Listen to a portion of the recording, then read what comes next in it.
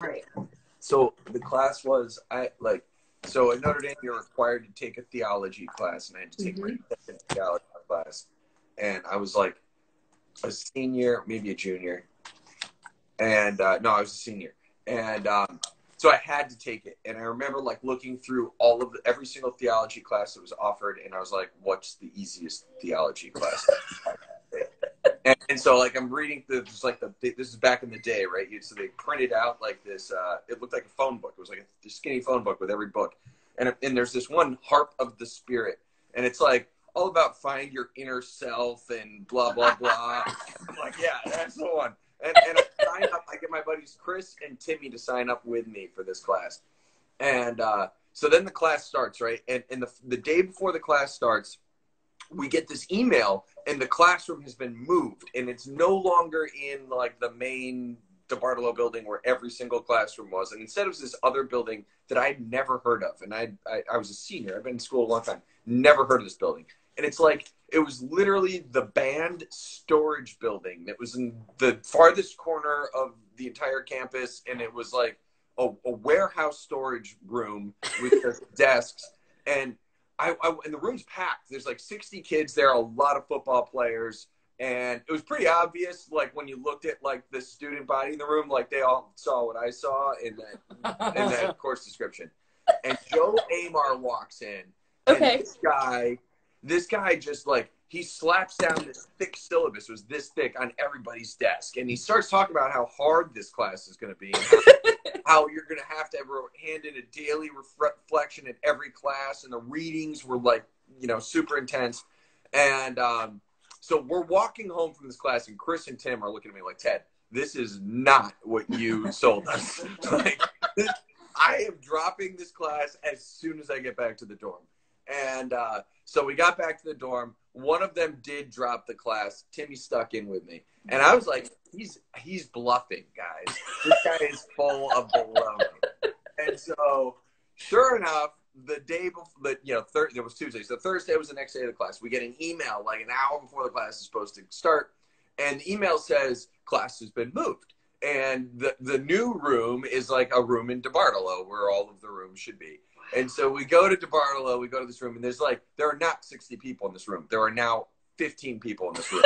Everybody has dropped the class. But I didn't know that part. This, this is the best part of the story. So, so I'm in there, and I'm like with Tim, and Tim's like, "Yeah, man, we should have been like Chris and dropped the class." I'm like, "No, this guy's bluffing." And uh, Joe Amar walks in like three minutes late into this classroom, and he walks up. He immediately, I think he's pissed. Maybe he's mad everybody dropped his class. I don't know. And he doesn't say anything. And he just like walks over to the windows and he starts closing the window shades and he turns off the lights and then he just sits on at his desk. Doesn't say anything for 20 minutes. And everybody's just like, like, I don't know. Nobody says anything for 20 minutes. Maybe, I don't know. And uh, then after 20 minutes, he kind of looks up and he goes, That was awkward.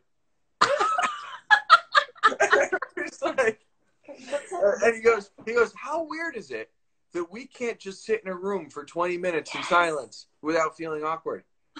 We're going to do this at the beginning of every single class. Oh, wow. silence I love that guy. and um and then he goes who did the the the writing assignment everybody like hands in their writing assignment he, he tears them all up immediately he goes going forward your daily reflections will be handwritten and they will not be longer than one page and um uh, every day started with 20 minutes of breathe. He eventually it evolved into breathing exercises and explaining what meditation is. Um, and a lot of it was he was a Syriac Catholic priest. I didn't even know what that meant, but the whole idea that like I was unaware that as a Roman Catholic, I have this very specific view of things, and that's not all of Catholicism. It's certainly not all of Christianity, and actually very not what Jesus was all about. And so, uh, learned a lot about Middle Eastern thinking and philosophy, and how they tell stories, and what all that meant.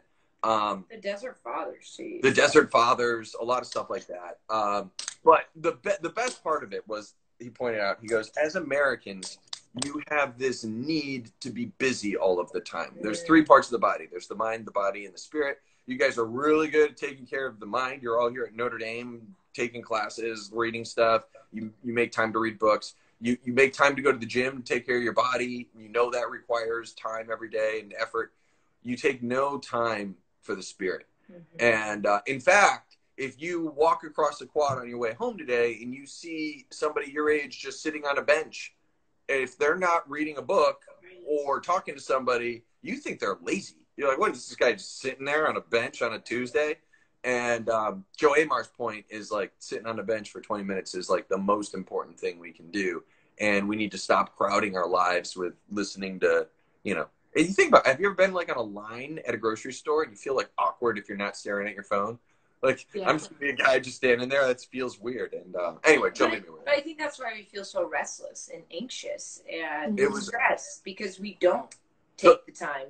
the last point he made, uh, and this is this is good anecdote, but to that point, um, uh, his, his biggest point was the cruelest thing we do to people is put them in solitary confinement. And he goes, "Why does that make any sense? Like it shouldn't be that bad to be by yourself." Um, and uh, uh, that's because we haven't conditioned ourselves to do it, and that is the hardest, scariest thing about our true self is to accept who we really are and be alone with God.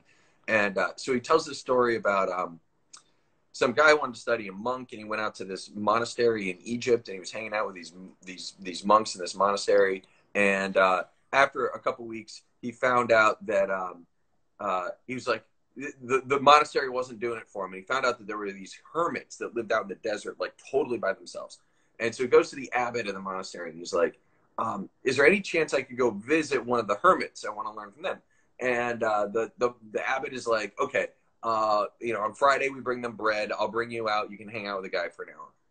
So they bring him out, and he goes to visit this hermit. And the hermit's got like nothing. There's a lean-to, and that's it in the middle of the desert.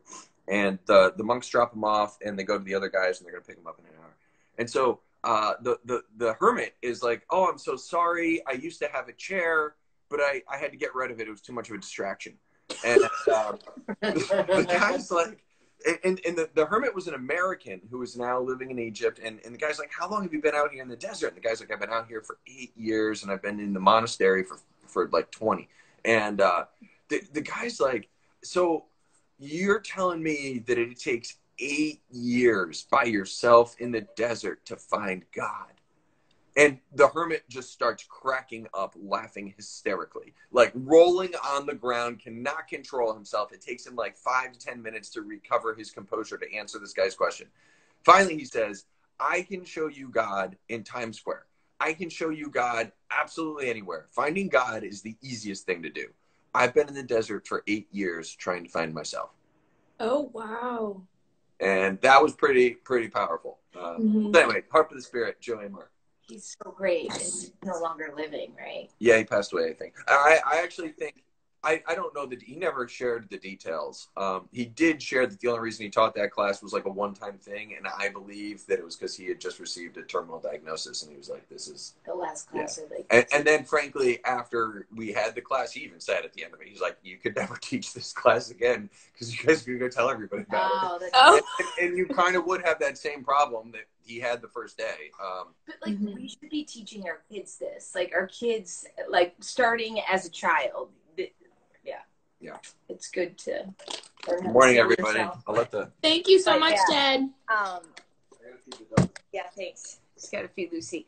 Um yeah, I just think it's it's so beautiful. Maybe it's an American thing. Is it an American thing that we just don't know how I think to it's I think it's something that everybody's touched on that we need to quiet ourselves and yeah. reflect and pray and That's so great, Dana. Everybody loves Ted. We need to bring him back with you, Kristen. You need to share more stories. Yes, gonna- we love Ted. Ted is a good storyteller